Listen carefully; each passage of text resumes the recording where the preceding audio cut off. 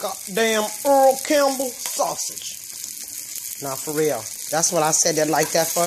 These mother, I'm, I'm, these motherfuckers is good right here. Okay, I got to give it to the brother. This shit is good. I ain't did nothing but fried this, heated this motherfucker, grilled him a little bit in the skillet just to get him a little dark and shit like that there. I thought it was gonna be some bullshit, I swear to God. But uh, I got to give it to this brother here. This shit is good as a motherfucker. Uh, I done ate four already. Um, what am I gonna tell the man? Well, I know what he gonna tell me. God damn it, I knew them goddamn things was gonna be good. Oh wait, they are good though. Earl Campbell sausage. I'm finna do a video with this shit. I swear to God. See y'all tomorrow.